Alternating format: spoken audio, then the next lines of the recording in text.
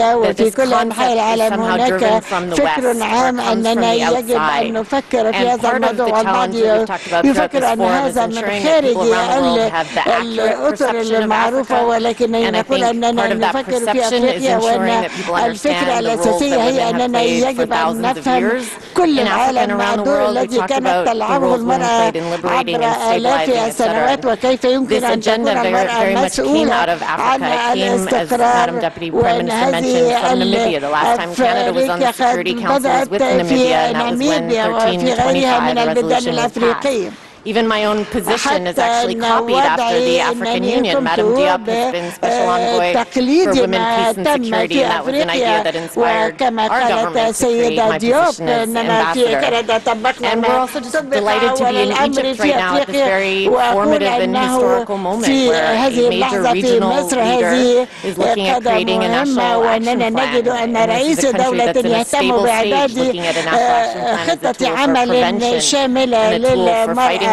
وأننا مصر تقوم بدور هذه في مكافحة التطرف وكذلك سيدة السيدة مرسي أيضا تحدثت عن ما يقوم به المجلس الوطني للمرأة. وكذلك فإن المجلس القومي للمرأة في مصر يقوم بعمل شديد في مصر. أعتقد أن الأخطاء الكثيرة التي نقوم بها هي أن نطبق خطة العمل أو نقوم بإعداد خطة عمل قومية. للمرأة ثم لا نطبق هذه الخطط واحد الأمور التي أعتقد أننا يمكن أن نقوم بها أن نلتزم. ما هي أهم الدروس التي يمكن أن تستفد منها الدولات الأخرى وما قمنا به على مدى 15 عاما. أقول أن هناك خمس نقاط هامة تحدد خطة العمل. خطة العمل ليس فقط إعداد خطة ورسمها ولكن أو المكون الأول هو الإرادة السياسية الفعلية وسعادة الرئيس هنا أكد هذه النقطة. وهي نقطة حيوية أن يكون القادة في كل البلاد يقومون ببيان الإدارة والإرادة الأساسية. النقطة الثانية هو التصميم monitoring and evaluation. And the fifth is a form of localization, of bringing it to the grassroots. And I'll speak very briefly about some of the lessons that we've learned and some of the, the opportunities that we've seen globally in each of those areas. So first on political will, uh, Madam Diab mentioned increasing roles for legislatures and parliaments is a crucial area to get to ensure that countries continue to support this agenda regardless of uh, changes in, in positions of other positions.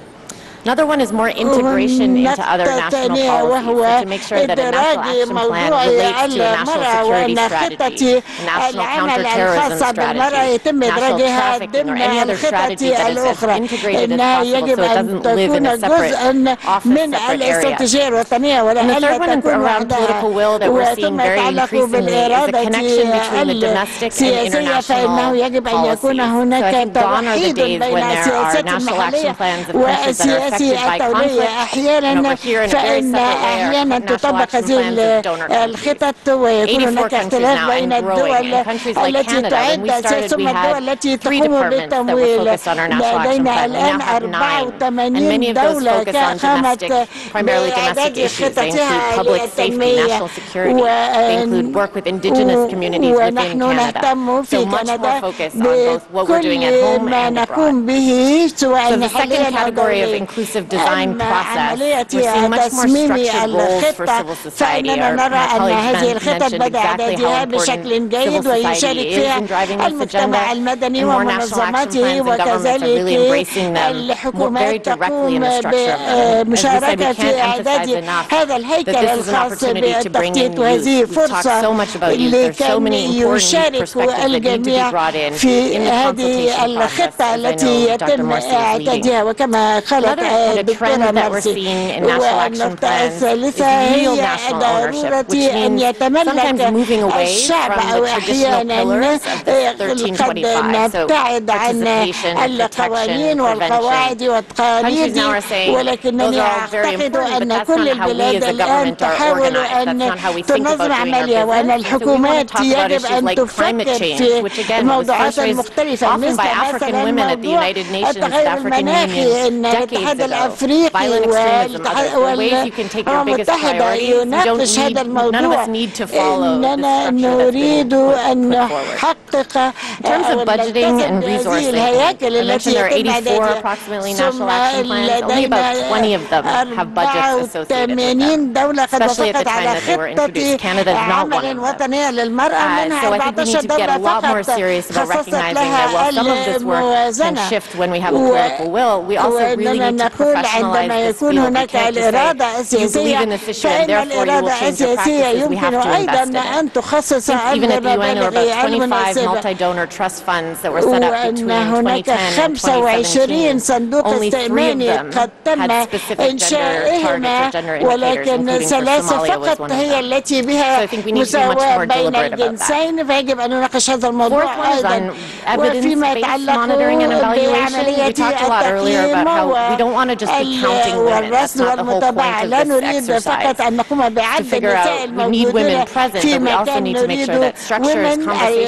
يجب أن تكون المرأة عاملة وتشارك بشكل فعال وليس مجرد وجود صامت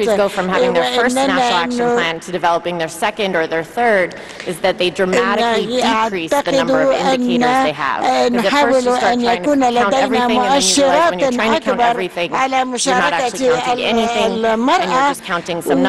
اننا لا يجب أن نقوم بعد عدد النساء الذين يدخلن في الب... البرلمانات في اللجان come ولكن يجب of لا يكون بعد العدد ولكن بما يكون به من عمل ولكن الخامسة federal هي أننا يجب will يكون لدينا be more يتم تطبيقها. ونركزها بشكل جيد lot uh, today and yesterday about social cohesion and لقد ناقشنا cohesion and أمس it's the grassroots level واليوم where that ضرورة social cohesion إدخال is first المرأة broken في and كل it's also where it can be الأنشطة first repaired.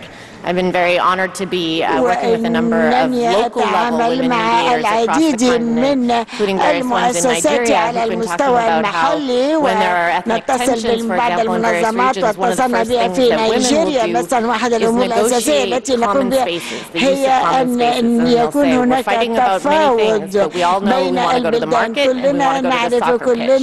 And so it will be women who will negotiate how we will share these spaces. This is the type of localization that we're talking about. There عندما نقول أننا يجب أن نهتم به على النطاق المحلي.